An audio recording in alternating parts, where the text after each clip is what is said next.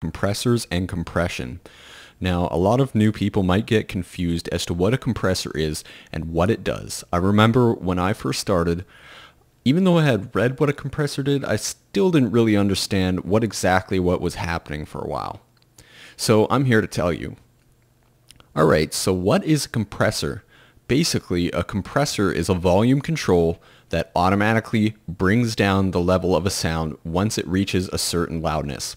Now this is a good thing because some sounds you're going to want to reduce the dynamic range, that is, reduce the difference between the highest volume and lowest volume to keep it a more consistent level.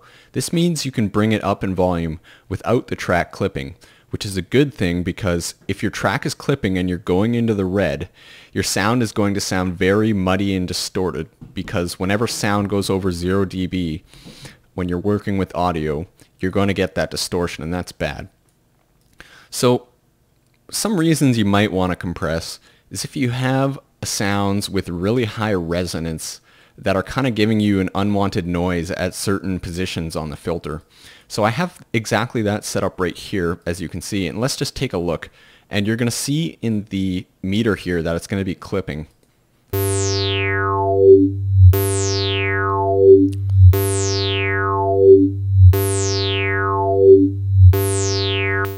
So you can see right there towards the end, it's going into the red.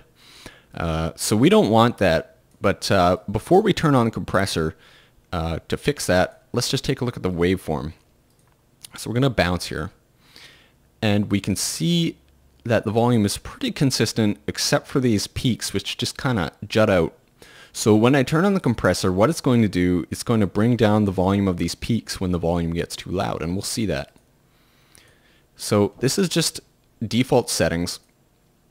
Uh, let's have a listen at what that sounds like now.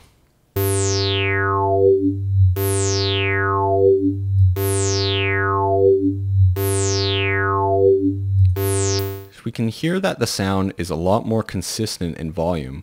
We also see that it isn't clipping anymore. Let's take a look at the waveform. So as you can see by the waveform here, uh, did exactly what I said. It clipped down on these peaks. So what exactly was happening? Well, if we open this up here, what was happening is the compressor wasn't acting in this area. Once it started to peak, it exceeded the threshold on the compressor and turned it on, which brought down the volume. So let's just talk about these controls just a little. The main things you're going to want to worry about are threshold and ratio. A ratio is the amount that the volume goes down proportionate to the amount of volume that exceeds the threshold. Now that sounds a little bit confusing, but basically what it means is this. If you have the ratio set to 1 2, which is the default, it's going to be basically reducing the volume by half. So the higher you have your ratio set, the more it's going to clamp down on the sound.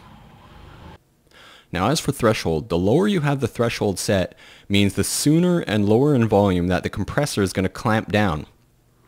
So that means if you have the volume all the way left, it's pretty much going to always be on. And if you have it all the way right, it's really not going to do anything unless it goes above 0 dB. So anyways, that's just the very basic idea behind a compressor and what it does.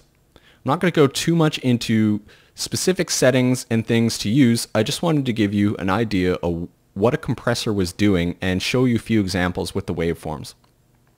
Anyways, I hope this tutorial has been helpful. This is Hlecktro signing out.